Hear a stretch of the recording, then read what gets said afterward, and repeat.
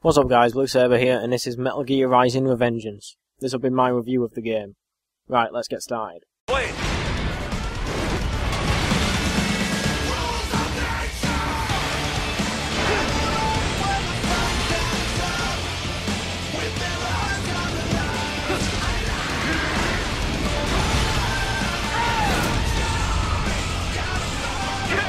Yes! Wide open! Raiden, a badass cyborg who defies the laws of physics and makes it look easy. The game starts off with Raiden working for a PMC organisation called Maverick Security, who are currently in charge of protecting the African Prime Minister. And we all know how well his last escort mission went. He at least has the decency to die without dragging Raiden through guard-infested areas whilst holding hands and stopping for a break every two minutes to tell us his life story. Anyway, you spend most of the game chasing after the guys that murked him off, while along the way Raiden gets in touch with his inner child. Anyone who has not skipped the cutscenes near the end of Metal Gear Solid 2 will know what I'm talking about. That nickname you love so much. Want to know how I got it? Actually, why don't I give you a demonstration? I think it's time for Jack to let her rip. I think the story is quite weak for a Metal Gear game, but still think it's slightly better than 2, and much better than whatever the hell Peace Walker was talking about.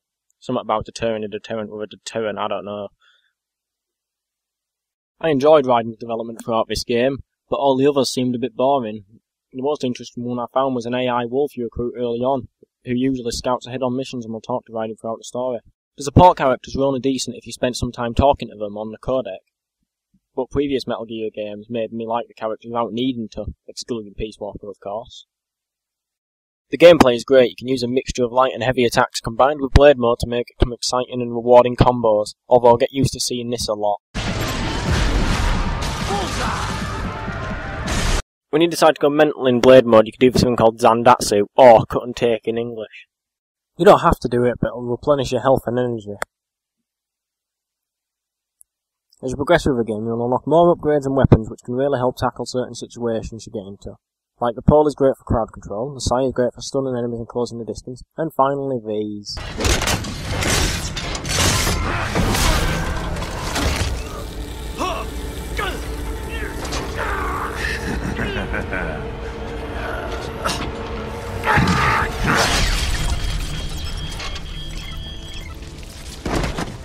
One big feature is parrying your enemies. By moving towards them and pressing the light attack when they're about to hit you. If you time this perfectly, it can lead to one shot your enemies. The problem is this doesn't always work because of how you have to execute it.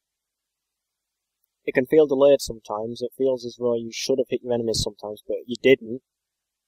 Keep another controller on standby because I felt like I was breaking my analog stick every single time I was trying to parry enemies, especially when I had to keep parrying over and over again on some harder bosses. I'm looking at you two.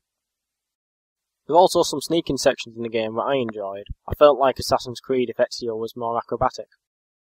You don't have to sneak at all, but it makes getting through certain areas easier and does help add variety to the game.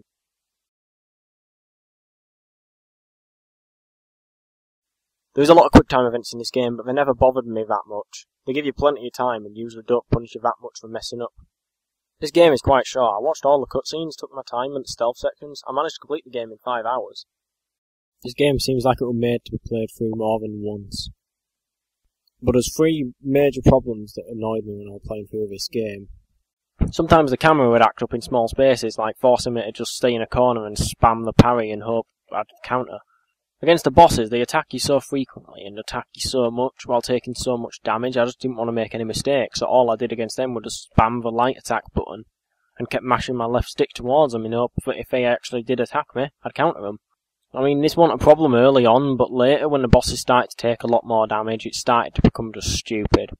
And the AI on this game just doesn't give a fuck. If you're surrounded by groups of guys, they don't care if they're going to hurt their teammates while attacking you. You can be fighting like two robot wolves and two of their squad members, and there'll, some guys in the background will be firing grenades and rockets at you. I've had a moment where I've just been juggled constantly by that tactic. I can't, I've even lost count of how many times I've become a gecko's cushion because they attack you off screen too. Also, the blade mode doesn't always work when you're using the analog. Raiden either cuts where you don't want, or just doesn't bloody cut at all.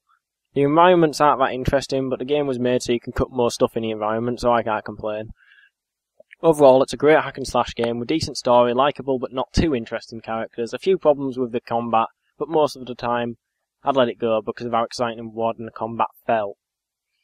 The boss fights were decent, but they did drag on for a while. The great soundtrack in the background made them epic though. I'm giving Metal Gear Rising an 8 out of 10. Thanks for watching, and for you people that decided to stick around this long, here's a little bonus clip. And fight nature, Jack.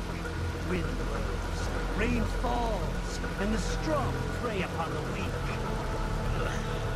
Sam tells me you see your weapon as a tool.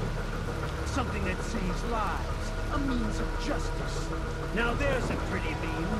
Exquisite. It spared you the burden of all the lives. Absolved you of guilt